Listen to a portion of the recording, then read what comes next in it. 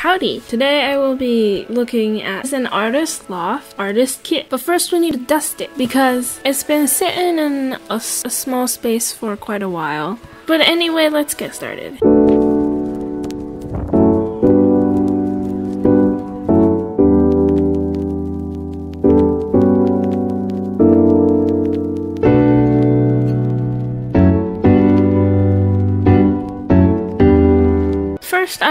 Show you what the whole thing on the outside looks like, obviously. Now we are going to take the buckles and unbuckle them. And there's also a zipper.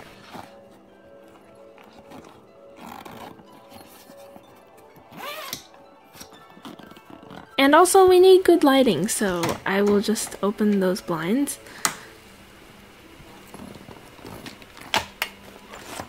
Here's a bit of the inside. It's a bit disorganized. And here's a satisfying picture of my organized art kit.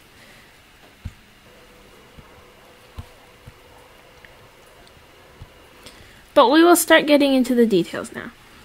I obviously first took everything out, but we will be looking at the brushes and pencils first. The brushes are rolled up in a cloth container. Do I call it container? I don't know.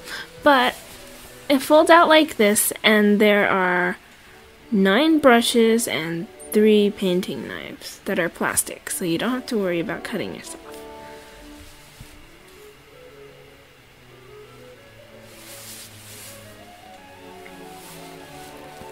And that's all for the brushes. Now for the pencils. It's quite a nice pencil case. There are rubber banded, grouped, whatever pencils inside. There are also colored pencils apparently. So we'll take a look at the colored pencils first.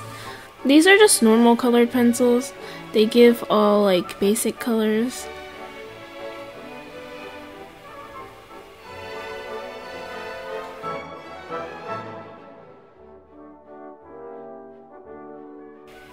And that's the first group.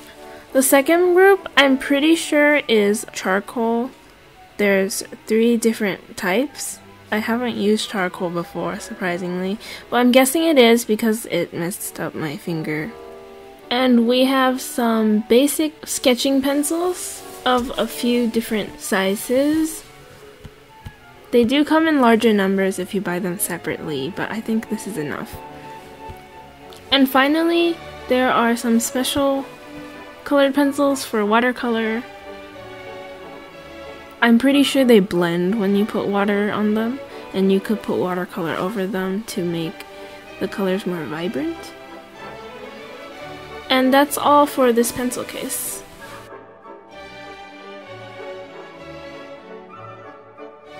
Oh, and there's more. There's and there's two extra things. There's an eraser obviously, and then a pencil sharpener.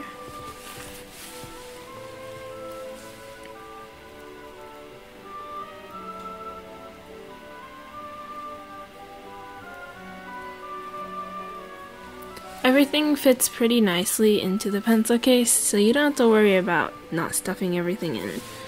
And that's all for this part. The next part is the acrylics.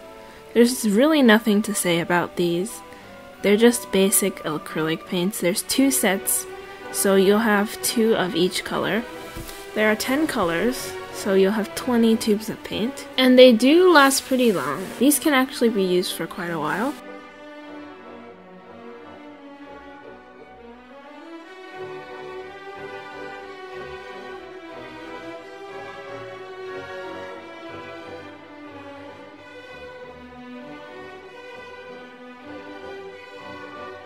And that's all for the paints. The next are these colorful um things. I don't know what to call them, but let's try to figure that out right now. So I figured these were watercolor paints because they come in the shape of watercolor paints and all watercolor paints pretty much look like that.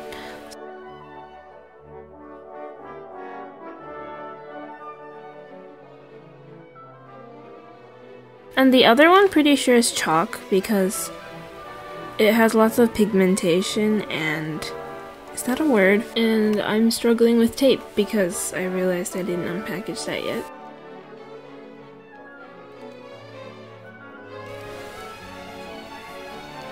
But here I will show you how this thing colors really quickly.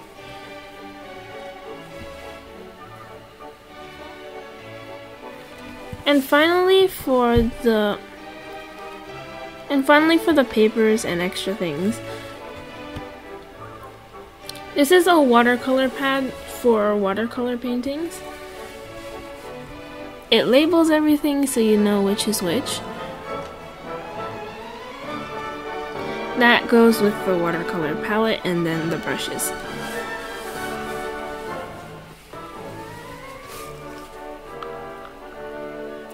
The next thing we have is a painting palette.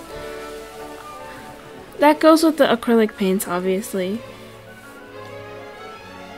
And we also have two canvases. They're thin canvases and they're graphed. These go with the acrylics as well, so you could put that with a palette.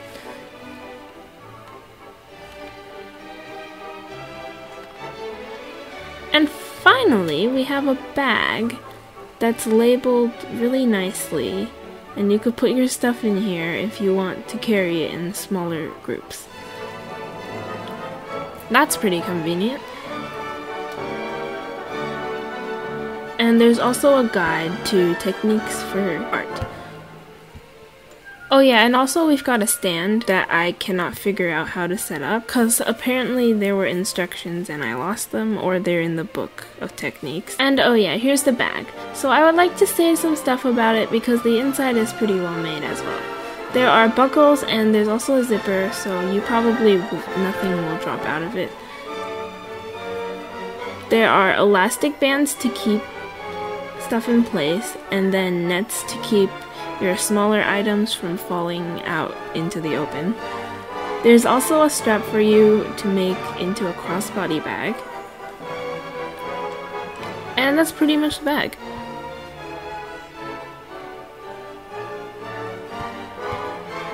And here's another cool photo that I took after organizing it. And yeah, that's pretty much a tour of the most expensive artistic thing I have here which is probably not a lot compared to everyone else. But anyways, that's all I have for you today. I post new videos every Thursday and Friday, plus extra if I have time. I did not post yesterday because I, I don't have time. So if you want to see more videos like this, check out my channel. I hope you enjoyed it and come back for the next. Bye!